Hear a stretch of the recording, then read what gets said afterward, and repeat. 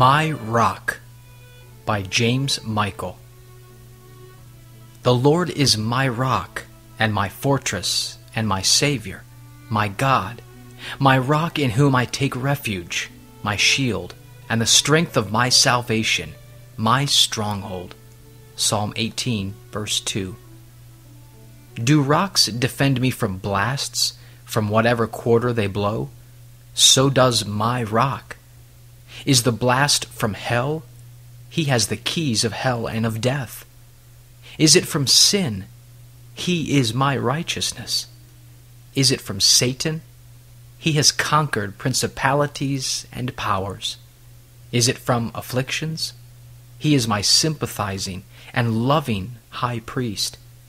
Is it from losses? He is my exceeding great reward. Is it from crosses? He makes all things work together for good to his people.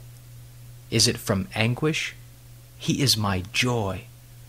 Is it from darkness? He is my sun. Is it from doubts? He is my counselor.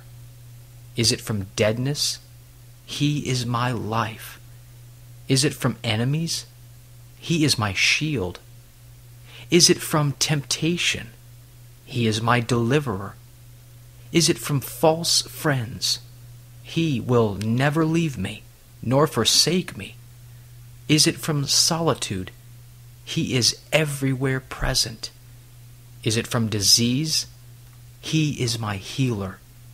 Is it from death? He is the resurrection and the life. O glorious refuge! O sure defense! O everlasting fortress! Here do I defy the worst that earth and hell can do.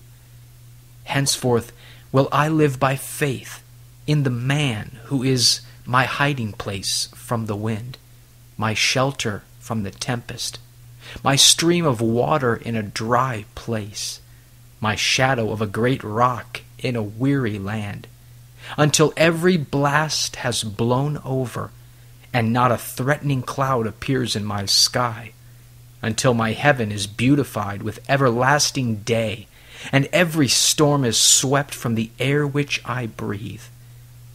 And a man shall be as a hiding place from the wind, and a shelter from the tempest, like streams of water in a dry place, like the shadow of a great rock in a weary land.